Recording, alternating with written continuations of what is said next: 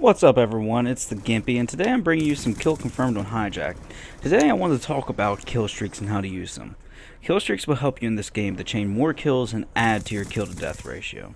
The best thing to do is to roll with ones that you can comfortably get and are comfortable with. I'd advise using kill streaks you don't control unless it's your last kill streak slot. That way you stay alive to get larger kill streaks. In this game, I was running Orbital VSAT, Warthog, and VTOL Warship, and it actually went really well. If you're having trouble getting your score streaks, be sure to slap Hardline on your class sub and learn to play more defensively. You can see in this video I locked myself down in an area to avoid dying. Use a gun you're comfortable with, with a class that has Ghost on it to not be spotted by UAV while roaming around.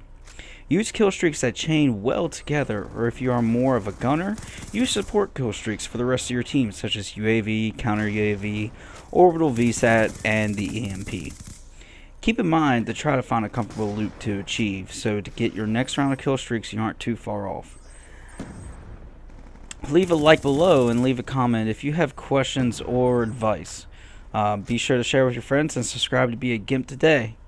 Uh, also, one other thing that I wanted to um, talk about today is that my Facebook and Twitter. Please follow me on there, please, because I like talking to my viewers and I always have time for them. Anyway, this game will be wrapping up here shortly. I'm going to go ahead and stop this commentary early and just let you go ahead and enjoy this. Um, uh, one thing that I do recommend for kill streaks, though, is that use a class with Ghost and use a suppressor on your gun and use something you're comfortable with. Um, and as far as playing defensively, that's something that takes a little while to learn. And just don't get too frustrated. Uh, the worst thing to do is to get frustrated and keep rushing around and die one thing off of the score you need to get your kill streak. Another thing that's going to help you out a lot is try a objective game type. Uh, it's going to be much harder for you to get uh, kill streaks in free for all or team deathmatch. I usually play hardpoint domination or kill confirmed. And uh, for me, just since I do run around the map a lot, kill confirmed is a lot easier for me to get my score streaks just because I am most of the time really close to the enemy, so their tags are right there when I die.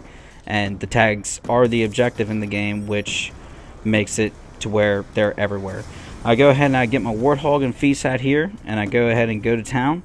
And the final kill cam is a sweet final kill cam with the uh, Warthog uh, shooting a missile right into the enemy spawn pretty sexy looking. But anyway, play an objective game type, use hardline, use ghost, and use the suppressor. Other than that, use a gun you're comfortable with.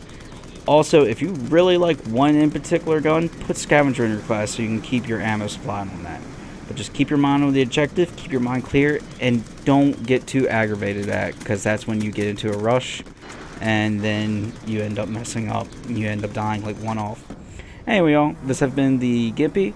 Remember to leave a like and share it and subscribe to me. And always, you can reach me at any time. I will contact you back and I will have a personal connection with my viewers.